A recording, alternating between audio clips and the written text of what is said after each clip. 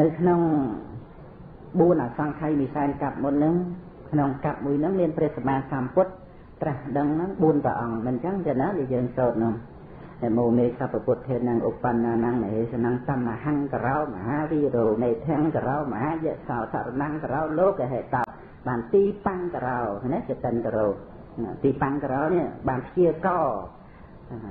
ព្រះ ព្រះបរមពុរិស័ទថា4អសង្ខ័យមួយសែនកាប់ទៀតនឹងបានត្រាស់ដឹងជាព្រះសម្មាសម្ពុទ្ធនឹងក្នុងកាប់មួយហ្នឹងមានប្រពុត4ព្រះអង្គក្នុងកាប់មួយហ្នឹងណារាប់ត្រឡប់ទៅ4អសង្ខ័យមួយសែនកាប់ហ្នឹងប៉ុន្តែប្រពុតទី1ទី2ទី3អត់បានជាកទេចូលតែប្រពុតទី5កបានជាកក្នុងការហ្នឹងព្រះអង្គជាព្រះសមេតបោះបានសម្រេចសមាបត្តិ3អភិញ្ញាលោកកេព្រះអង្គហោះបានណា ប៉ុន្តែពេលមួយហ្នឹងចាប់តែឃើញមហាជនសបាយរីករាយលើកផ្លូវសាកសួរទៅដឹងថាលើកផ្លូវស្វ័យព្រះសម្មាសម្ពុទ្ធនឹងពិខុរាប់ម៉ឺនអង្គហើយមកសែនអង្គអញ្ចឹងភ្លាមភ្លាមហ្នឹងក្នុងពេលហ្នឹងព្រះបរមពុរិស័ទមិនសម្ដែងឬមិនធ្វើអីទាំងអស់ដើម្បីបូជាព្រះពុទ្ធបូជាព្រះភិក្ខុសង្ឃគឺសុខចិត្តក្រាបទៅលើកលុកមួយនឹងឯងដែលពពួកជនលើកមិនតាមរួចហ្នឹងធ្វើ ជាស្ពានឲ្យព្រះសម្មាសម្ពុទ្ធជន់ហើយនឹងព្រះភិក្ខុសង្ឃធ្វើជាស្ពានហ្នឹងដូចទៅព្រះសម្មាសម្ពុទ្ធព្រះអង្គទ្រង់ពិចារណាដោយអនាគតាំងសញ្ញាណឃើញថានឹងបានជាព្រះសម្មាសម្ពុទ្ធនឹងបានជាព្រះសម្មាសម្ពុទ្ធទៅតាមការតាំងចិត្តយ៉ាងណា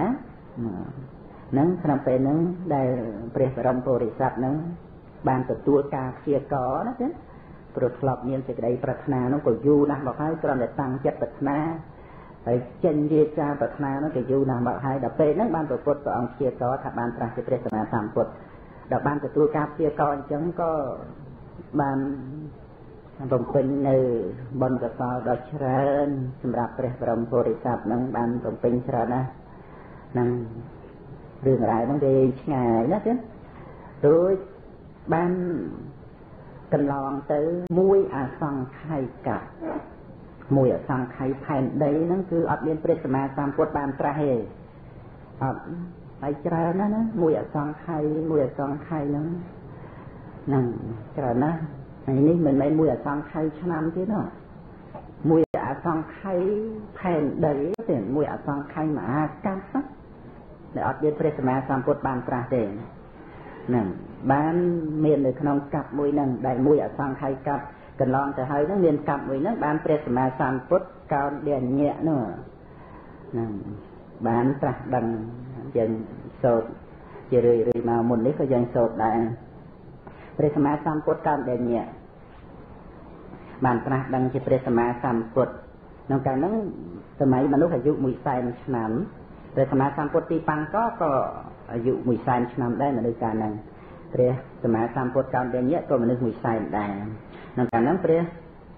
បរមពុរិស័ទជាស្ដេចចក្រទ្រង់តនាមវិជិតាវី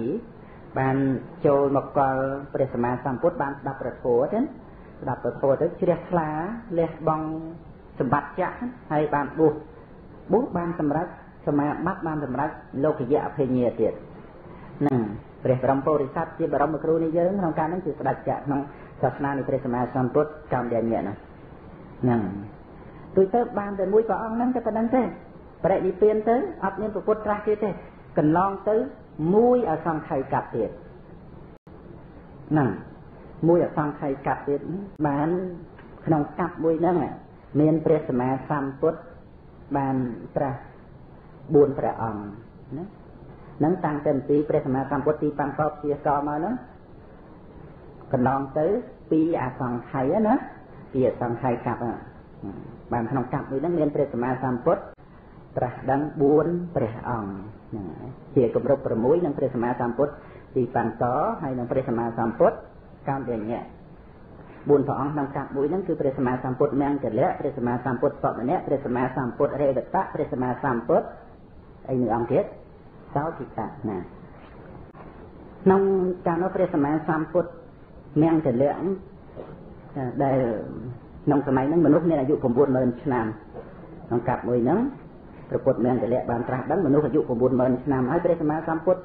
ព្រះមង្គលៈហ្នឹងមានមានពលឺឆប់ប៉ុនរាំងស្អីចេញអំពីប្រវត្តិកាយហ្នឹងទៀតក្រៃលែងជាងព្រះសម្មាសម្ពុទ្ធណាណាទៀតគឺព្រះសម្មាសម្ពុទ្ធអង្គខ្លះត្រឹមតែមួយជាមអីតែប៉ុណ្្នឹងទេពីពវរកាយអង្គខ្លះក៏បែកកថាត់អីចឹងទៅ តែព្រះសម្មាសម្ពុទ្ធមៀងតលៈឈប់បណ្ណរាំងទៅចេញអំពីពវរកាយរហូតដល់ទៅម៉ឺនចក្រវាលចឹងមិនមែនត្រឹមតែក្នុងចក្រវាលមួយទេណាខ្លាំងណាស់ហើយមនុស្សក្នុងសម័យហ្នឹងក្នុងរវាងក្នុងរវាងដែលបជនរបស់ព្រះអង្គប្រមាណក្នុងរវាង90000ឆ្នាំហ្នឹងមនុស្សប្រកបកិច្ចការងារទៅនឹងពលឺរបស់ពុទ្ធទេព្រះ ព្រះទឹកព្រះច័ន្ទអត់ប្រកបពលឺទេច័ន្ទពលឺពុទ្ធទេពលឺព្រះសម្មាសម្ពុទ្ធហ្នឹងគឺតែភ្លឺតតតតតចូលគ្នារហូតដល់ទៅកាប់តតីតតីហើយយប់ថ្ងៃខ្ញុំកល់តែនឹងសម្លេងសត្វយំហើយនឹងផ្កាឈើរីកសពូនអីតែប៉ុណ្្នឹងទេស្លឹកឈើរីកស្លឹកឈើណែយើងហៅស្លឹកឈើតែដេកណាវាមានស្លឹកឈើខ្លះវាពេលយប់វាសពប់យ៉ាងទៅពេលព្រឹកវារីកអីចឹងទៅសម្គាល់យប់ថ្ងៃតែនឹងអញ្ចឹងទេពលឺប្រពុតសំយ៉ាងតលៈហ្នឹង មកពីព្រះអង្គបានបំពេញបំពេញទានបារមីហ្នឹងខ្លាំងណាស់ម្យ៉ាងគឺព្រះអង្គក្នុងកាលនោះរបៀបដូចប្រវេសន្តរអញ្ចឹងហើយបានលះបង់នៅបុតហ្នឹងលះបង់នៅកូនពីរនាក់ហ្នឹងឲ្យទៅជាទានក្នុងកាលយៈយៈមកនិមិត្តធ្វើជាព្រាមមកសុំកូនសុំគ្រាន់តែព្រះអង្គប្រទានបានតែប៉ុណ្ណឹងឈួរផ្អែកនឹងក្តារនៅចុងចង្ក្រមចុងផ្លូវចង្ក្រមហ្នឹងទំពាកូនរបស់ព្រះពោធិសត្វមង្គលៈហ្នឹង ក្រឹបក្រឹបក្រឹបដូចដូចទីកៅឈូកចឹងរួចទៅហៅមកទៅឈាមឲ្យក្រហមត្រាពេញមាត់តែព្រះបរមពុរិស័ទនេះព្រះបរមពុរិស័ទសុខសម្ញតលៈទេណាក៏អត់មានចិត្តអីដូចថាតក់ស្លុតរន្ធត់អីទេទៅជានឹកឃើញថាសពតិនណាំងវតមេទានណាំងចឹងទៅតទានបាត់ម៉ាញ់ឲ្យដោយល្អហើយអត់មានគ្រាន់តែថាចង់ធ្វើដាំបាយឆៅខ្លោ សាបអីមកកើតទុកអន់ចិត្តអីអត់ទេអានេះគឺថាបុណ្យដែលព្រះអង្គបានធ្វើឲ្យឃើញយៈទីទីកូនហ្នឹងឯងហើយឈាមក្រហមពេញមាត់ឈាមកូនហ្នឹងហើយព្រះអង្គអត់មានបតីដូចថាស្លុតឬក៏តូមម្នោះអន់ចិត្តអីត្រង់ដែលថាយៈនឹងមកបោកមកប្រាស់ព្រះអង្គបន្លំធ្វើជាត្រៀមអី គឺអត់មានអន់ទេប្រទានដែលព្រះអង្គបានឲ្យទៅគឺថាឲ្យដោយល្អហើយសុតិណាវកមេទានណាព្រះអង្គមានឧទានអញ្ចឹងទានបាតមកអញបានឲ្យឲ្យដោយល្អហ្នឹងរួចទៅក៏ព្រះអង្គមានតតិដើម្បីឲ្យបានប្រាស់ជាប្រពុតឲ្យមានពន្លឺដើម្បីជាប្រយោជន៍ដល់សត្វលោកណាក៏ប្រាថ្នាដើម្បីជាប្រយោជន៍សត្វលោកហ្នឹងទេហើយព្រះអង្គពេលមួយនោះបូជាបច្ច័យដីព្រះសម្មាសម្ពុទ្ធ ព្រះអង្គយកចំណាត់មករុំរុំបកាយរុំទៅលក់ប្រេងហើយទូលជាជាអ្នកដែលមានតម្លៃមួយសែនជំរឿមហាត់ដាក់ប្រេងទូលទូលបូជាក្នុងវេលាយប់ហើយបូជាជីវិតរបស់ព្រះអង្គនឹកឃើញថាអញបូជាជីវិតថ្វាយព្រះចេះខ្លានឹងព្រះមិនដឹងបានអីបូជាតែបូជាជីវិតហ្នឹងព្រះសម្មាសម្ពុទ្ធសមយ៉ាងលៈហ្នឹងមង្គលៈហ្នឹងបានប្រាស់ជាព្រះសម្មាសម្ពុទ្ធទៅទៅមានពន្លឺឆប៉ុណ្ណឹងស្អីខ្លាំងខ្លាដល់ឡើងហ្នឹង ហើយក្នុងកាលនោះព្រះសម្មាសម្ពុទ្ធបរមគ្រូនៃយើងព្រះអង្គនៅជាព្រះបរមពុរិស័ទនៅជាព្រាមឈ្មោះសុរុជៈព្រាមទៀតបានធ្វើមហាទានសម្បើមណាស់ធ្វើមហាទានគឺទៀតធំណាស់រួចទៅព្រះអង្គថ្វាយត្រៃចីវរដល់ភិក្ខុសង្ឃនិងព្រះសម្មាសម្ពុទ្ធទៀតហ្នឹងរួចអញ្ចឹងទៅបានបរិនិព្វានទៅក្រោយមកបានក្នុងកាប់មួយហ្នឹងមានព្រះសម្មាសម្ពុទ្ធមួយអង្គទៀតបានត្រាស់ទ្រង់តានាមថា សុម្នាក់ព្រះសម្មាសម្ពុទ្ធសុម្នាក់ហ្នឹងក្នុងសម័យមនុស្សអាយុ90000ឆ្នាំដែរហើយក្នុងកាលហ្នឹងព្រះបរមពុរិស័ទហ្នឹងក៏បានសោយទៅជាតិជាអតលនិក្រិយកាលជានិក្រិយបានឡើងមកគាល់ព្រះអង្គហើយនិមិត្តខ្លួនលេងភ្លេងលេងភ្លេងថ្វាយព្រះអង្គហើយធ្វើមហាទានទៀតហ្នឹងបានដល់នៅបរតនត្រ័យកម្លាំងត្រង់ដែលបានដល់នៅបរតនត្រ័យ ជាអតុលនិករាជក្នុងសាសនានៃព្រះសម្មាសម្ពុទ្ធសុម្នាក់ហើយក្នុងសាសនានៃព្រះសម្មាសម្ពុទ្ធរេវតៈក្នុងសម័យនោះមនុស្សអាយុ60000ឆ្នាំព្រះបរមពុរិស័ទសោតិជាតិជាព្រាមឈ្មោះថាអាតិតេព្រាមហើយបានស្ដាប់ព្រះធម៌របស់ព្រះសម្មាសម្ពុទ្ធអេវតៈស្ដាប់រួចទៅក៏លើកដៃដាក់លើ សេរសាដាក់លើសីស័កហ្នឹងក៏ពោលវិចារសរសើរអំពីការលះកិលេសរបស់ព្រះសម្មាសម្ពុទ្ធសរសើរអំពីការលះកិលេសរបស់ព្រះអង្គរួចទៅក៏ដល់នៅបត្រៃសរណគមនឹងនឹងព្រះបរមពុរិស័ទដែលជាអតិទេព្រាមពេលទៅបានព្រះសម្មាសម្ពុទ្ធសោពិតៈក្នុងសម័យមនុស្សអាយុ90000ឆ្នាំនឹងព្រះបរមពុរិស័ទសោតិជាតិជាព្រាមដែរទ្រង់ពនាមថាចោតិកៈព្រាម ក៏បានមកស្ដាប់ប្រធัวរបស់ព្រះអង្គបានដល់នៅបត្រៃសរណគមនឹងបានដល់នៅត្រៃសរណគមនឹងក្នុងកັບមួយហ្នឹងមានព្រះសម្មាសម្ពុទ្ធ4ព្រះអង្គនឹងបានត្រាស់ដឹងទៅទៅទៅកន្លងផុតទៅដល់ទៅបរិនិព្វានអស់ទៅកន្លងទៅកន្លងទៅកន្លងទៅមួយអសង្ខ័យទៀតទៀតមួយអសង្ខ័យកាប់ទៀតណាអស់3អសង្ខ័យ បានព្រះសម្មាសម្ពុទ្ធបានត្រាស់ដឹងក្នុងកាប់មួយហ្នឹង3ព្រះអង្គហ្នឹងគឺព្រះសម្មាសម្ពុទ្ធអនុមតិស័យព្រះសម្មាសម្ពុទ្ធបតុមនិងព្រះសម្មាសម្ពុទ្ធនិរតៈព្រះសម្មាសម្ពុទ្ធអនុមតិស័យហ្នឹងឯងដែលជាកព្រះសិរីបុត្រប្រមុខកលៀនក្នុងកាលនោះខាងនៅមួយអសង្ខ័យមួយសែនកាប់ទៀតនឹងបានជាអគ្គសាវកនោះណានឹងព្រះសម្មាសម្ពុទ្ធអនុមតិស័យហ្នឹងហ្នឹងហើយក្នុងកាលនោះព្រះបរមពុរិស័ទខ្សោយតិជាជាសេនាបតីយៈណាសេនាបតីយៈគ្រប់គ្រងលើលើយៈច្រើនណាគ្រប់គ្រងលើយៈនឹងរាប់សែននេះអស់ហើយបានមកកល់ព្រះអង្គព្រះបរមពុរិស័ទនេះទៀតជាសេនាបតីយៈបានមកកល់ព្រះអង្គហើយបានធ្វើមហាទានក្នុងនឹងមានចៃវរថ្វាយដល់ព្រះវិខសង្ឃមានប្រពុតជាប្រធាននឹងក្នុងសម័យមនុស្សអាយុ1សែនឆ្នាំ សម័យព្រះសម្មាសម្ពុទ្ធអនុមតិស័យរួចបរិនិព្វានទៅបានក្នុងកាប់ហ្នឹងមានព្រះសម្មាសម្ពុទ្ធមួយអង្គទៀតទៅនាមបតុមបតុមៈហ្នឹងព្រះបរមពុរិស័ទព្រះអង្គសោតិជាតិជាស្ដេចរាជសីណាក្នុងក្នុងសម័យហ្នឹងមនុស្សអាយុមួយសែនដែរក្នុងសម័យព្រះសម្មាសម្ពុទ្ធបតុមហ្នឹងណាបន្តពីអនាមតេសីព្រះសម្មាសម្ពុទ្ធហ្នឹងមកមនុស្សអាយុ មួយសែនឆ្នាំក្នុងកាលនោះព្រះអង្គសោយទៅជាតិជាសរិយអស័យបានចេញមកឃើញព្រះសម្មាសម្ពុទ្ធបតុងគង់នៅក្នុងនិរោធសមាបត្តិគាត់ទៅជ្រះថ្លាបានបន្លឺឡើងនៅសីអនេកហ្នឹង3ដងរួចទៅនៅនៅស្គាល់ព្រះអង្គហ្នឹងដោយអត់ទៅស្វែងរកអាហារទេមានបៃតិជាអាហារព្រោះតែឃើញព្រះសម្មាសម្ពុទ្ធហ្នឹងមានបៃតិរីករាយ នៅស្គាល់ព្រះអង្គនឹងរហូត7ថ្ងៃចឹងដល់ព្រះសម្មាសម្ពុទ្ធបតុមចេញអំពីនិរោធសមាបត្តិមកចារណាឃើញថាជាជាពុទ្ធវង្សណាគឺជាបុគ្គលដែលកសាងដើម្បីឲ្យបានប្រាស់ជាពុទ្ធណាអញ្ចឹងក៏ព្រះអង្គអធិដ្ឋានឲ្យភិក្ខុសង្ឃមកដល់ភិក្ខុសង្ឃក៏បានមកដល់ក៏ត្រៀបត្រាទៅទៅ រាជសីព្រះបរមពុរិស័ទហ្នឹងក៏ជ្រះថ្លានឹងព្រះភិក្ខុសង្ឃហ្នឹងព្រះសម្មាសម្ពុទ្ធក៏ព្យាករថានឹងបានត្រាស់ជាព្រះសម្មាសម្ពុទ្ធហ្នឹងនឹងក្នុងសាសនានៃព្រះសម្មាសម្ពុទ្ធបតុមនោះកន្លងទៅនៅក្នុងកັບនឹងដែរព្រះសម្មាសម្ពុទ្ធនិរតៈព្រះសម្មាសម្ពុទ្ធនិរតៈនឹងបានត្រាស់ដឹងណា នៅក្នុងសាសនានៃព្រះសម្មាសម្ពុទ្ធនិរតៈហ្នឹងក្នុងកាលហ្នឹងមនុស្សមានអាយុ90000ឆ្នាំ90000ឆ្នាំ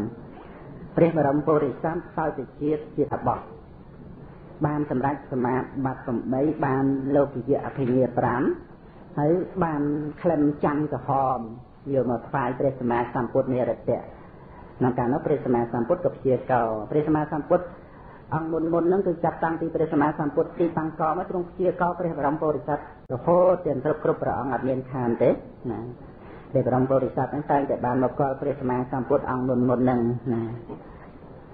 នឹង3ព្រះអង្គនឹងឯងគឺព្រះសម្មាសម្ពុទ្ធអនុមតិស័យព្រះសម្មាសម្ពុទ្ធបទុមព្រះសម្មាសម្ពុទ្ធនិរតៈហ្នឹង3ព្រះអង្គហ្នឹងកន្លងផុតទៅកាប់ហ្នឹងសញ្ញកັບសញ្ញកັບតទេតទេតទេអត់មានព្រះសម្មាសម្ពុទ្ធហ្នឹង មួយអសង្ខ័យទៀតបោះ4អសង្ខ័យបានព្រះសម្មាសម្ពុទ្ធបតមុត្តរៈរត់ត្រឡប់ពីផតកັບហ្នឹងទៅមួយសែនកັບ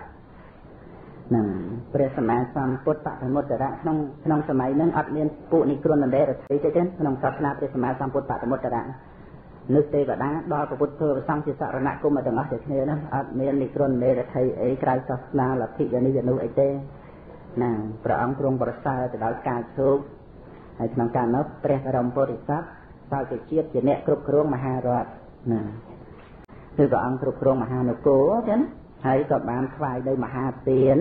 ដល់ព្រះសម្មាសម្ពុទ្ធនិងព្រះវិខសង្ឃនឹង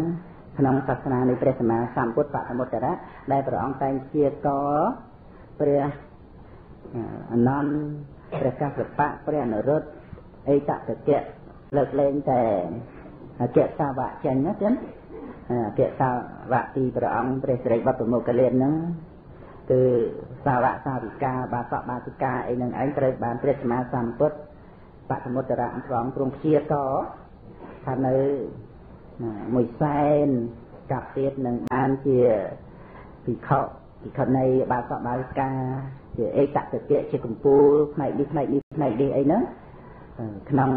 សាសនានៃព្រះសម្មាសម្ពុទ្ធបរមគ្រូនិងព្រះសម្មាសម្ពុទ្ធបរមុត្តរៈផងគង់ជាតមកក្នុងកាលនោះព្រះបរមពុទ្ធិសពជាអ្នកគ្រប់គ្រងមហាប្រទេសនឹងមានការធ្វើនៅមហាទានហើយ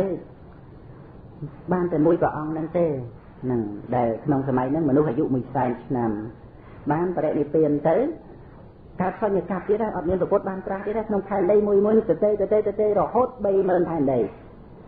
អត់មានប្រពុតបានត្រាស់ទេហ្នឹងបានបន្តអំពី30000ខែដីកន្លងទៅមានខែដីមួយហ្នឹងកាប់មួយហ្នឹងមានព្រះសម្មាសម្ពុទ្ធពីរព្រះអង្គគឺព្រះសម្មាសម្ពុទ្ធសុមេធៈហើយនិងព្រះសម្មាសម្ពុទ្ធសុជាតៈហ្នឹងក្នុងសាសនានៃព្រះសម្មាសម្ពុទ្ធសុមេធៈហ្នឹងក្នុងការនោះព្រះបរមពុរិស័ទព្រះអង្គសោវិជាជាឧត្តរមាននុបបានកោះកំណត់80កើតជាមកធ្វើទានជ្រះថ្លាបួសបួសក្នុងពុទ្ធសាសនាហ្នឹងបួសនៅក្នុង សាសនារបស់ព្រះសម្មាសម្ពុទ្ធទៅឬទៅក្នុងសាសនានៃព្រះសម្មាសម្ពុទ្ធសុជាតិៈហ្នឹងក៏ព្រះបរមពុរិស័ទហ្នឹងជាស្ដេចចក្របានស្ដាប់ព្រះធម៌ទៅ បានបូជានៅសម្បត្តិក្នុងទ្វីបទាំង4ចឹងហើយរតនៈ7ប្រការអីហ្នឹងថ្វាយដល់ព្រះវិសុសង្ឃនៃពុទ្ធជាប្រធានបួសបួសក្នុងសាសនានៃព្រះសម្មាសម្ពុទ្ធជាតិតនឹងព្រះបរមពុរិស័ទជាស្ដេចចក្រ សោយរាជក្នុងទ្វីបទាំង4លះបង់រាជសម្បត្តិដូចជារតនត្រ័យហើយអ្នកស្រុកអ្នកនគរអីនឹងឯងបាននៅសម្បត្តិយ៉ាងណាយ៉ាងណាយកមកកសាងអារាមទំនុកម្រងព្រះវិខសង្ឃនឹងដែលរាប់អំពីផតកັບនឹងទៅ70000បានខ្សែអាចមុននឹងបានសម្ដែងដោយសង្ខេបគ្រាន់តែមានការរៀបរាប់ព្រះនាមរបស់ ព្រះបរមពុរិស័ទការដែលត្រាច់បង្កប់នៅក្នុងវត្តសង្សារ4អសង្ខ័យមានសែនកម្មហើយនៅពេលដែលព្រះសម្មាសម្ពុទ្ធអង្គបានត្រាស់ដឹងនៅក្នុងលោកនោះព្រះបរមពុរិស័ទខាងមានជាតិកំណើតនឹងជាបីហើយត្រូវបានព្រះសម្មាសម្ពុទ្ធព្រះអង្គទ្រង់ជាកណា រៀបរាប់មកតាំងតែពីព្រះសម្មាសម្ពុទ្ធទីតាំងកនឹងព្រះសម្មាសម្ពុទ្ធកាន់ដែលញ៉ាណារហូតមកទៅណាដល់ព្រះសម្មាសម្ពុទ្ធបសមុត្តរៈដែលរាប់ត្រឡប់អំពីផតកັບតាំងទៅមួយខ្សែ មួយខ្សែមហាកັບមួយខ្សែផែនដីហ្នឹងមានព្រះសម្មាសម្ពុទ្ធធម្មតរៈដែលព្រះអង្គបានព្យាករនៅសាវករបស់ព្រះសម្មាសម្ពុទ្ធប្រមគ្រូនិយាយនេះវាតែព្រះសិរីបុត្រលោកកលៀនពីរអង្គទេដែលព្រះសម្មាសម្ពុទ្ធអនុមតិសីបានជាកហើយមកនឹងប្រ ត្រូវកសាងបារមីហ្នឹងមួយអសង្ខ័យហើយខែមួយសែនកម្មចំណែកក្រៅពីហ្នឹងត្រឹមតែមួយសែនកម្មចាំអំពីព្រះសម្មាសម្ពុទ្ធបកមុត្តរៈមកហើយព្រះសម្មាសម្ពុទ្ធបកមុត្តរៈដែលមានប្រជជនមួយខ្សែបានប្រតិទានកន្លងទៅ ត្រូវសញ្ញាកម្មផែនដីនឹងត្រូវសូន្យទៅណាអត់មានព្រះសម្មាសម្ពុទ្ធបានត្រាស់ហ្នឹង30000មហាកັບ30000ផែនដីហ្នឹងបានមានព្រះសម្មាសម្ពុទ្ធពីព្រះអង្គបានត្រាស់ព្រះសម្មាសម្ពុទ្ធសម្លេធៈនិងព្រះសម្មាសម្ពុទ្ធសេចតៈនឹងក៏បានសម្ដែងហើយនឹង ដែលមនុស្សក្នុងសម័យព្រះសម្មាសម្ពុទ្ធសម្លេធៈនិងព្រះសម្មាសម្ពុទ្ធសេចតៈហ្នឹងមានចំនួន90000ឆ្នាំតែតាំងអំពីនឹងទៅព្រះសម្មាសម្ពុទ្ធសេចតៈបរិនិព្វានទៅផែនដីនឹងត្រូវកន្លងទៅច្រើនណាស់ហ្នឹងបើយើងរាប់ត្រឡប់អំពីផតកាត់ហ្នឹងទៅ 1800កាប់ដូច្នេះចាប់តាំងពី70000ទៅ70000មកហ្នឹងទៅសញ្ញកាប់រហូតនឹងដល់ទឹកទៅត្រូវសញ្ញកាប់ហ្នឹង60000 60000 8200ណាអស់62000 200ណា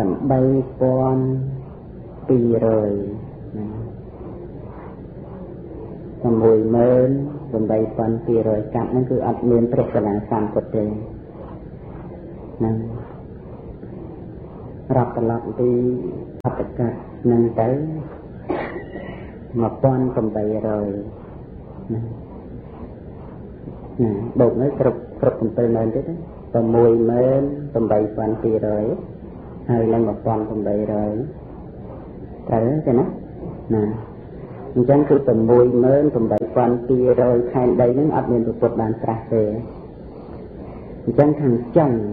ខាងចុងនៃនៃនៃកាប់1800នឹងបានមានព្រះសម្មាសម្ពុទ្ធបានត្រាស់ដឹង3ព្រះអង្គណាគឺ ព្រះសម្មាសម្ពុទ្ធបយៈទេសីព្រះសម្មាសម្ពុទ្ធអត្តទេសីព្រះសម្មាសម្ពុទ្ធធម្មទេសីអន្តរមួយនោះមាន3ព្រះអង្គ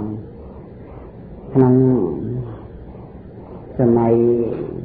នៃព្រះសម្មាសម្ពុទ្ធបយៈទេសីមនុស្សមានអាយុ90000ឆ្នាំដែរក្នុងកាលនោះព្រះបរមពុរិស័ទសោយជាតិជាកសបៈមនុស្សរៀនចប់ អំពីត្រៃវេទជាព្រាមបានស្ដាប់ព្រះធម៌របស់ព្រះសម្មាសម្ពុទ្ធយៈចេះទៅក៏បានបរិច្ចាគទ្រព្យមួយសែនកោទាំងធ្វើជាសង្ឃារាមជាអារាមស្វាយសង្ឃទេធ្វើនោះធ្វើណាស់នឹងព្រះព្រះបរមពុរិស័ទដែលបានប្រាស់ជាពុទ្ធបរមគ្រូនេះយើងនេះណាគឺសម្បែមអស្ចារ្យណាស់ហ្នឹង ហើយបានព្រះសម្មាសម្ពុទ្ធយៈទេសីហ្នឹងព្រះអង្គទ្រង់ជាតជាតទៅទៅបានព្រះសម្មាសម្ពុទ្ធអត្តទេសីព្រះអង្គបានត្រាស់ដឹងឡើងក្នុងលោកក្នុងសម័យមនុស្សអាយុមួយសែនអត្តទេសីមនុស្សអាយុមួយសែនទេសមាសម្ពុទ្ធត្រាស់ដល់ហ្នឹងអត់មានលើសពីមួយសែនទេណាហ្នឹងមិនត្រឹមមនុស្ស អាយុខៃត្រឹមមួយសែនហ្នឹងហ្នឹងអ្នកព្រះសម្មាសម្ពុទ្ធបានត្រាស់តែមនុស្សលើសពីមួយសែនទៅមួយសែនកន្លះពីរសែនអីហ្នឹងរហូតដល់មនុស្សអាយុមួយអសង្ខ័យហ្នឹងអត់មានព្រះសម្មាសម្ពុទ្ធបានត្រាស់ទេព្រោះច្រើនទៅឲ្យសេចក្តីប្រមាទប្រមាទហ្នឹងប្រមាទត្រង់ដែលថាវាក្រងមកណាហើយដល់ទៅក្រៅ100 អាហ្នឹងមនុស្សកិលេសច្រើនមិនក៏ព្រះសម្មាសម្ពុទ្ធមិនត្រាស់ដែរដោយសម្លាញ់សពថ្ងៃអីនេះណាហើយក្រំតែនៅព្រះធ្វើព្រះវិន័យក្នុងកាលនោះនៃក្នុងសាសនាព្រះសម្មាសម្ពុទ្ធអត្តទេសីទេព្រះបរមប្រតិស័កនឹងហើយពីជាតិក្នុងកាលនោះណាបួសបួសជាតបោះណាបួសជាតបោះ តបោះនឹងត្រង់មានពលានទៀតឈ្មោះសុសិមាតបោះមានរិទ្ធមានអនុភាពបានទៅនាំយកផ្កាផ្កាទៅណាកណ្ដរៈពីពីខាងលើមកផ្កាទឹកធ្វើជាឆាត់ធ្វើជាឆាត់ផ្កាវាថ្វាយព្រះសម្មាសម្ពុទ្ធបានព្រះសម្មាសម្ពុទ្ធព្រះអង្គទ្រង់ជ្រាបគាត់ព្យាករជាកទេសរំពុទ្ធសាសនឹងថាបានប្រាស់ជាពុទ្ធនោះ មិនបានប្រាស់ណាទេហ្នឹងហើយក៏កណ្ដងអំពីព្រះសម្មាសម្ពុទ្ធអត្តទេស័យហ្នឹងទៅគឺព្រះសម្មាសម្ពុទ្ធធម្មទេស័យក្នុងមនុស្សសម័យសម័យមនុស្សអាយុមួយសែនដែរ100000ឆ្នាំយូរទេណាហ្នឹងរូបអានយូរក្នុងកាលនោះព្រះបរមពុទ្ធិស័នណា ដែលបានជាព្រះសម្មាសម្ពុទ្ធបរមគ្រូនៃយើងនេះក្នុងកាលនោះព្រះអង្គសោយទៅជាតិជាបអិនជាសកតេបរិយហើយបាននាំយកនាំយកគ្រឿងកោបចិត្តទឹកព្រមទាំងលេងភ្លេងខ្វាយព្រះអង្គទៀតខ្វាយព្រះសម្មាសម្ពុទ្ធធម្មទេសីហ្នឹងបាន ព្រះសម្មាសម្ពុទ្ធធម្មទេសីក៏ព្រះអង្គទ្រង់ជាកោហ្នឹងបីព្រះអង្គហ្នឹងព្រះសម្មាសម្ពុទ្ធពយៈទេសីព្រះសម្មាសម្ពុទ្ធអត្តទេសីព្រះសម្មាសម្ពុទ្ធធម្មទេសីហ្នឹងហ្នឹងគុណចាស់ញាតិញោមណាបានចេះហើយជ្រាបហើយបានសូក្នុងធัวអ្នកមកមេនោះណា សូត្រដល់ថ្ងៃហើយគុំព្រះសម្មាសម្ពុទ្ធ28ព្រះអង្គណាទៅណា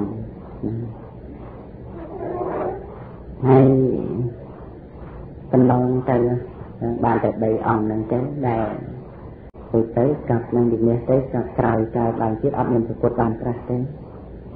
អត់ទេតាំងពី1800ហ្នឹងគេថាកន្លងទៅអស់ស្រែណាស់ អស់1000អញ្ចឹងទៅក៏នៅតាមបានប្រាស់ទៀត1100 1200 1300 1400 1500 1600 1700អត់តាមមានប្រកួតបានប្រាស់ទេអត់ណាតែរាប់ពីផតកៈយើងនឹងត្រឡប់ក្រោយទៅ94 94ផែនដីណាហ្នឹង94ផែនដីមុនហ្នឹងមានព្រះសម្មាសម្ពុទ្ធមួយព្រះអង្គបានត្រាស់ក្នុងកាប់មួយហ្នឹងទ្រង់ទៅលៀនសិទ្ធផតៈសិទ្ធផតៈមិនក្នុងសម័យមនុស្សអាយុមួយសែនដែរ10ម៉ឺនឆ្នាំដែរហើយព្រះបរមពុទ្ធិស័ក្តិក៏បុះជាតបោះមានទឹកច្រើនណាស់ឈ្មោះមៀងកលៈណាឈ្មោះមៀងកលៈតបោះ ហើយមានទឹកច្រើនបានសំណំយកផ្លែព្រីយ៉ាងធំផ្លែព្រីហ្នឹងយកមកថ្វាយព្រះសម្មាសម្ពុទ្ធសទ្ធៈត្រង់សើហើយព្រះអង្គក៏ទ្រង់ជាក៏94កាប់ទៀតនឹងបានត្រាស់ដឹងជាព្រះសម្មាសម្ពុទ្ធទ្រង់ក៏មានថាសំណាក់គោដឹងជាក៏ដល់ពិធទាំងឡាយនឹងបានតែមួយព្រះអង្គនឹងទេណាណារួចទៅក៏បរិវិទានទៅ កាប់94ហ្នឹងក៏ពីលះទៅកាប់មួយកើតឡើងក្រោយសញ្ញាកាប់ទៀតអត់មានប្រព្រឹត្តបានប្រាស់ទេកាប់ពី93អញ្ចឹងដែលរាប់ត្រឡប់ក្រោយទៅហ្នឹង93អត់ទេកាប់ពី92បានមាន2ព្រះអង្គណាកាប់ពី92ហ្នឹងមាន2ព្រះអង្គគឺព្រះសម្មាសម្ពុទ្ធបេសកហើយនឹងព្រះសម្មាសម្ពុទ្ធបសក ព្រះសម្មាសម្ពុទ្ធបេសកហ្នឹងក៏ក្នុងសម័យមនុស្សអាយុ100000ឆ្នាំដែរមួយខ្សែដែរក្នុងតែនោះព្រះបរមពុរិស័ទជាព្រះជាទ្រង់ទៅលែងសុជាតិបានស្ដាប់ព្រះធម៌ជ្រះថ្លាធ្វើមហាទានព្រមទាំងគ្រឿងបរិខាផ្សេងផ្សេងច្រើនណាស់បណ្ឌបាត្រៃជ័យកអីហ្នឹងណាហើយក៏បាន ក្នុងកាលនោះមិនបានមិនបានបួសនៅក្នុងគណៈពុទ្ធសាសនាទេអឺបួសនឹងទំនងជាបួសមុនព្រះសម្មាសម្ពុទ្ធបានត្រាស់បួសជាតបងតែមានទឹកច្រើនណាស់មានទឹកច្រើនហើយ បាននាំយកនៅការគុណវរៈការបទុំហើយនឹងនាំយកនៅការបរិខត្តកៈពីឋានសួគ៌មកទៅដល់ព្រះសម្មាសម្ពុទ្ធណាព្រះបរមពុរិស័ទណាមានទឹកច្រើនមានអានុភាពច្រើនក្នុងក្នុងកាលនោះ ព្រះសម្មាសម្ពុទ្ធនឹងព្រះអង្គក៏ទ្រង់ជាកគ្រប់គ្រប់ព្រះសម្មាសម្ពុទ្ធណាទេជាកដូចទៅបានព្រះឥទានទៅព្រះសម្មាសម្ពុទ្ធទេសៈណាបានព្រះសម្មាសម្ពុទ្ធតសៈបានត្រាស់ដល់នៅក្នុងលើក្នុងសម័យមនុស្សអាយុ90000ឆ្នាំណា90000ឆ្នាំព្រះបរមពុរិស័ទជាស្រេចច ទ្រង់ពនាមថាវិជិតាវីដែរពីមុននោះមានមានពនាមវិជិតាវីជាស្ដេចចក្រនៅម្ដងដែរឥឡូវនេះទ្រង់ពនាមវិជិតាវីទៀតបានស្ដាប់ពធបុះក្នុងសំណាក់ពុទ្ធសាសនាជាសាវករបស់ព្រះសម្មាសម្ពុទ្ធស័ក្តិហ្នឹងហើយបរិបូរទៅដោយគុណបរិបូរទៅដោយអាចារៈនិងគោចារៈហើយសិក្សាបត្រៃបីដករៀនចេះចោះបត្រៃបីដក ក្នុងព្រះបរមពុទ្ធសាសនាក្នុងកាលហ្នឹងជាស្ដេចចក្រប៉ុន្តែលះបង់នៅនៅសម្បត្តិចក្រហ្នឹងអូណាហ្នឹងក្នុងកាប់ទី92ហ្នឹងបានកន្លងកាប់ហ្នឹងទៅកាប់ទី91មានព្រះសម្មាសម្ពុទ្ធមួយអង្គបានត្រាស់ក្នុងព្រះនាមវិបស្សីណាហើយ ដែលយើងស្លាប់ស្ដាប់លើប្រែញាតប្របាត់លិនវិសាអីអីហ្នឹងណាអាហ្នឹងស្លាប់ធ្វើបាបហ្នឹងតាំងពីកាត់ទី92មុនប្រពុតវិបស្សីក្នុងសម័យព្រះសម្មាសម្ពុទ្ធតសៈណាអាហ្នឹងនៅធ្វើបាបកម្មហ្នឹងក៏យូរណាស់ហើយហើយក្នុងការដែលព្រះសម្មាសម្ពុទ្ធវិបស្សីបានត្រាស់ព្រះសម្មាសម្ពុទ្ធ វិបស្សីបានត្រាស់ហ្នឹងក្នុងកាលហ្នឹងមនុស្សមានអាយុ80000ឆ្នាំទេណាអាយុ80000ឆ្នាំព្រះបរមពុរិស័ទព្រះអង្គសោយជាតិជាអ្នកករាជក្នុងសាសនាព្រះសម្មាសម្ពុទ្ធវិបស្សីទៅអតលអ្នកករាជក៏ប៉ុន្តែក៏បានមកគាត់ព្រះសម្មាសម្ពុទ្ធតែបានតាំងតាំងមេះហើយណាបានតាំងមេះហើយប្រដាប់ទៅដោយ រតនកែវផ្សេងផ្សេងដូចជាថ្វាយព្រះសម្មាសម្ពុទ្ធហើយព្រះអង្គក៏ទ្រង់ជាកអតលៈនិក្រិយក្នុងសាសនានៃព្រះសម្មាសម្ពុទ្ធវិបស្សីនេះនឹងក្នុងកាត់ទី91ណាក្នុងកាត់ទី91ណាព្រះសម្មាសម្ពុទ្ធវិបស្សីហ្នឹងមនុស្សអាយុ80000ឆ្នាំរួចបានប្រតិពានទៅកាត់ទី90ហ្នឹងអត់មានពុទ្ធបានត្រាស់ទេ កាត់ទី89 88 87ហ្នឹងអត់ផែនដីមួយមួយហ្នឹងយូរណាតែអត់មានពុទ្ធបានត្រាស់ទេកាត់ទី80 70 60អីហ្នឹងអត់ទេតតែមកដល់កាត់ទី31រាប់ពីផតកັບហ្នឹងទៅ31ផែនដីមុនហ្នឹងមានពុទ្ធពីរព្រះអង្គគឺព្រះសម្មាសម្ពុទ្ធសិក្ខីហើយនិងព្រះសម្មាសម្ពុទ្ធវេសុភូ ព្រះសម្មាសម្ពុទ្ធសិក្ខីក្នុងសម័យមនុស្សអាយុ70000ឆ្នាំណា70000ឆ្នាំណាព្រះសម្មាសម្ពុទ្ធវេសុភូមនុស្សអាយុ60000ឆ្នាំអាយុខែអញ្ចឹងណាក្នុងសាសនានៃព្រះសម្មាសម្ពុទ្ធសិក្ខីក្នុងសម័យមនុស្សអាយុ70000ឆ្នាំក្នុងកាលនោះព្រះព្រមពុរិស័ទជាព្រះរាជាព្រះជាទ្រង់ មានព្រះនាមថាបរិន្តមៈបានធ្វើមហាទានដល់ព្រះភិក្ខុសង្ឃហើយធ្វើនៅនៅត្រៃចីវរធ្វើដោយច្រើននៅត្រៃចីវរណាណាធ្វើទានច្រើនណាស់បានថ្វាយនៅសម្រេចកែប្រដាប់ទៅដោយរតនៈគម្ពីរប្រការទៀតតែអត់បានបួសទេព្រះព្រះបរមពុរិស័ទក្នុង កំណើតជាបរិន្តមៈណាតើតែសម័យព្រះសម្មាសម្ពុទ្ធវិសុភូដែលមនុស្សអាយុ60000ឆ្នាំនេះព្រះអង្គទី2ក្នុងកັບទី31ណាណាព្រះបរមពុរិស័ទឲ្យទៅជាតិជាស្ដេចដែរជាព្រះជាដែរណាត្រង់ព្រះនាមថាសត្យសនៈព្រះនាមសត្យសនៈហ្នឹងបាន ធ្វើមហាទានរួចស្បាប់ធ្វើជ្រះថ្លាវាលះបង់រាជសម្បត្តិបុះបុះក្នុងពុទ្ធសាសនាចាប់ពីនឹងមកបួសចាប់តាំងពីសាសនានៃព្រះសម្មាសម្ពុទ្ធវិសុភូមកបួសបួសគ្រប់ទៅព្រះសម្មាសម្ពុទ្ធហ្នឹងបួសហើយកាប់ទី31ហ្នឹងកន្លងទៅកាប់ទី30ហ្នឹងអត់ទេណាអត់មានទេ29ក៏អត់28ក៏អត់27ក៏អត់រហូតមកអត់រហូតអត់រហូត មកទល់គ្នានឹងផតកម្មនេះបានមានព្រះសម្មាសម្ពុទ្ធ5ព្រះអង្គពីមុនមកអត់ទេណា4អសង្ខ័យមួយសែនកាត់4អសង្ខ័យមួយសែនកាត់ហ្នឹងអត់មានកាត់ណាមួយដែលព្រះសម្មាសម្ពុទ្ធបានត្រាស់5ព្រះអង្គអត់មានទេមានត្រឹម4អង្គ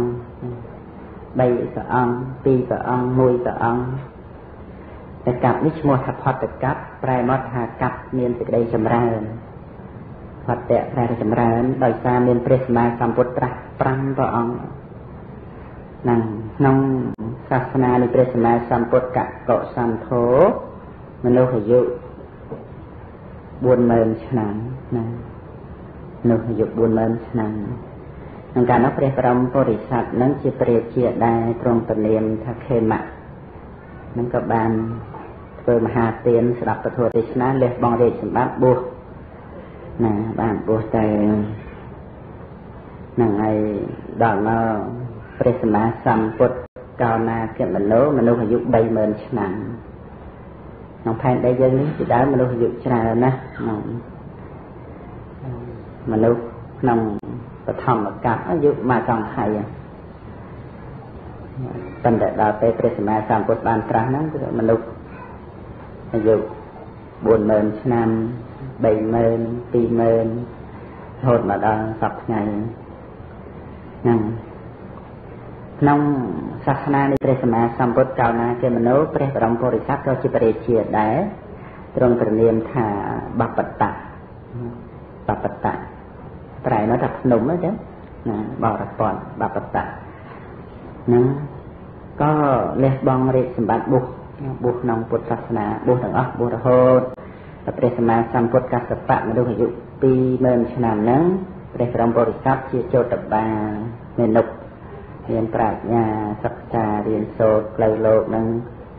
ល្បីល្បាញគេឈ្មោះសបែមណារហូតដល់តែមានមានមេនេះដែលបានដែលមិនតាន់បានលះហ្នឹងហើយពោលដោយចិត្តមិនជ្រះថ្លាចំពោះព្រះសម្មាសម្ពុទ្ធកសបៈទសពលនោះណាដែល សម្ដែងនៅក្នុងគម្ពីរអបទាននោះពោលថាបានត្រាស់ដឹងអីសមណៈងើបានត្រាស់ដឹងអីរឿងត្រាស់ដឹងល្ងាយទេមានកម្មពីទៅខ្លួនព្រះអង្គនឹងទៅណាហ្នឹងហើយប៉ុន្តែក្រោយមកបានភរិកាស្មូនឆ្នាំហ្នឹងជាកម្លាំងជាទំនំទៅតលតែបានទៅស្គាល់ព្រះអង្គបានស្ដាប់ធម៌ជ្រះថ្លាបួសបួសបួសរៀនចប់បត្រៃបីដកណាណា ចូលតបាភិក្ខុហ្នឹងជាព្រះបរមពុរិស័ទព្រះកសបៈទសពលព្រះអង្គទ្រង់ជាកហ្នឹងណារហូតមកបានបានត្រាស់ជាទេសមាសម្ពុទ្ធហ្នឹងហើយលើព្រះអង្គក៏បរិនិព្វានទៅទៀតទៅហើយណាចឹងការដែលយើងបានសិក្សានៅក្នុងក្រសែនៃវត្តសង្សារ របស់ព្រះសម្មាសម្ពុទ្ធបរមគ្រូនៃយើងហ្នឹងឃើញថាព្រះអង្គមានការអន្តោយកយកកំណើនដែលទីប្រាប់មកហ្នឹងក្រំតែថាបានជួបព្រះសម្មាសម្ពុទ្ធព្រះអង្គទ្រង់ជាកតែក្នុងរវាងចន្លោះចន្លោះនៃព្រះសម្មាសម្ពុទ្ធនោះព្រះអង្គមានកំណើតផ្សេងផ្សេងច្រើនបែបច្រើនយ៉ាងទៀតណាស់ ព្រោះព្រះអង្គត្រូវការកសាងបារមីនៅក្នុងកំណើតជាមនុស្សហើយមានពេលខ្លះក៏បានធ្វើនៅបាបកម្មផ្សេងផ្សេងដែលកម្មហ្នឹងមិនបាត់បង់ទៅឡើយមិនអាចលុបលាងទៅទេក៏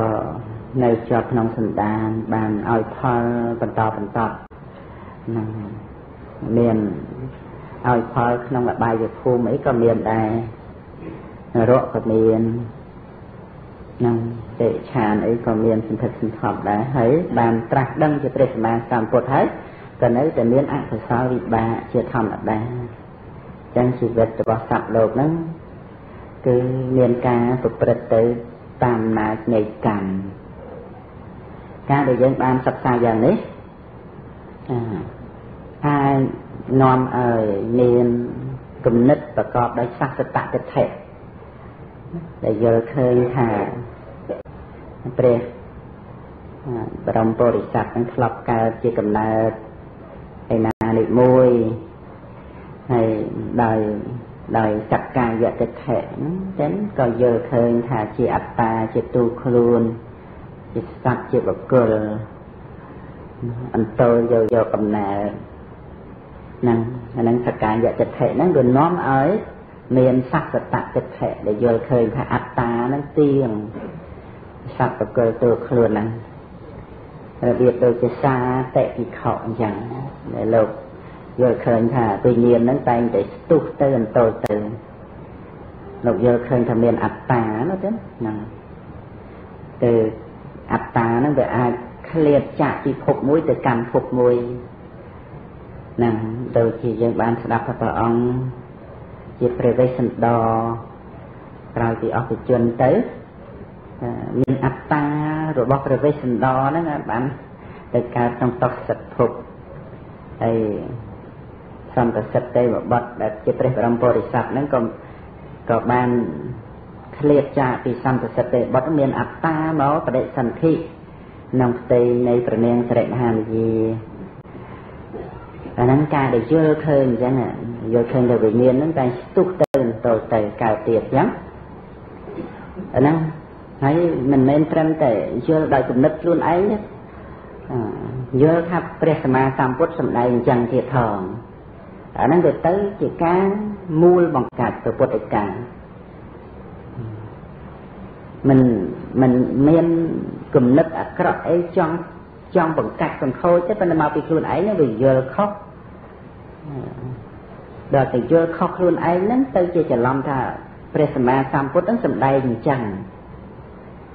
សំដែងអញ្ចឹងប៉ុន្តែជាជំនៈហ្នឹងជាជំនៈដែលសាតិវិខបានពោលហ្នឹងព្រះអង្គអាចបានសំដែងទេបើគ្រាន់តែខ្លួនឯងនេះកាន់យល់នៃខុសទៅវាទៅជាយល់ថាព្រះអង្គហ្នឹងសំដែងអញ្ចឹងសំដែងទៅវិញ្ញាណហ្នឹងស្ទុះទៅតូលទៅព្រោះមើលព្រះអង្គសំដែងជាជាតិមុនហ្នឹងព្រះអង្គ ជាសន្តិសិទ្ធទេបុត្រព្រះអង្គជាប្រវេសន្តរព្រះអង្គជាព្រះទេនិយៈព្រះវិធុរៈជាសវណ្ណសាមអីអីហ្នឹងអាហ្នឹងមិនវិញ្ញាណហ្នឹងស្ទុះអន្តោលទៅក្នុងភពនីមួយនីមួយអាហ្នឹងពាក្យហ្នឹងគឺខ្លួនខ្លួនឯងហ្នឹងគឺថាពោលឡើងដោយការយល់ខុសរបស់ខ្លួនប៉ុន្តែទៅជាមានគំនិតថាគឺព្រះសម្មាសម្ពុទ្ធនឹងសម្ដែងអញ្ចឹងប៉ុន្តែព្យានជាអ្នកដែលខ្លួនឯងពោលហ្នឹងព្រះអង្គអត់បានសម្ដែងទេ